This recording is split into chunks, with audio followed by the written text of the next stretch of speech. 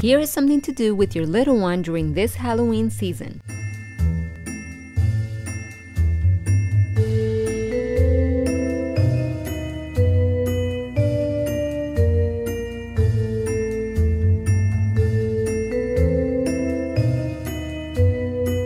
Crayola Experience has lots of Halloween themed crafts and paintings.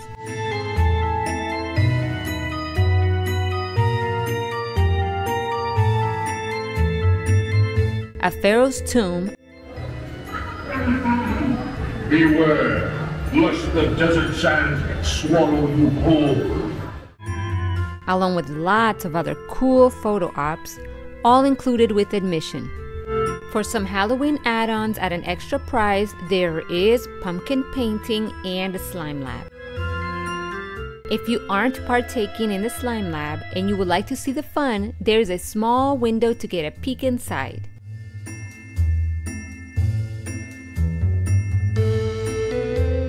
Here are some completed slime jars. Although I normally like to go during the week to avoid the crowds, I do like to check out the Halloween celebration on the weekend for a bit of extra fun with live music or DJs in trick or treating. The DJ that was there on the day that we went was so much fun. The kids got to play so many games and dance a whole lot. Also, the only time we've been able to catch the live Crayola show has been on a weekend. Factory located here in the USA. We make the Crayola crayons that are used all over the world. Our factory actually makes over two and a half billion crayons every year. We get a free red Crayola at the end of the show. Rock and Paper had bats and beetles this time. Go ahead, go ahead.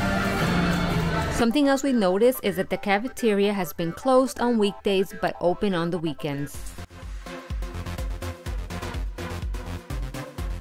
Otherwise, you have a snack bar available and it's pretty well stocked.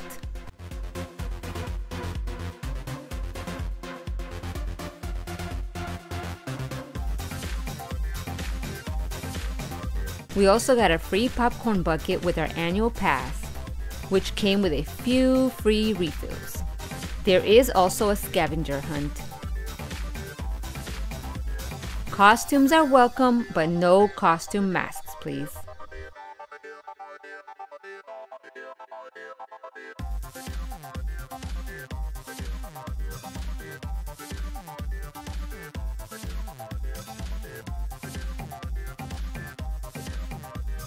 Check out the event calendar on the website for detailed information as there's various entertainment on different days. If you want a rundown of every single thing there is to do at Crayola Experience, check out my video outlining just that.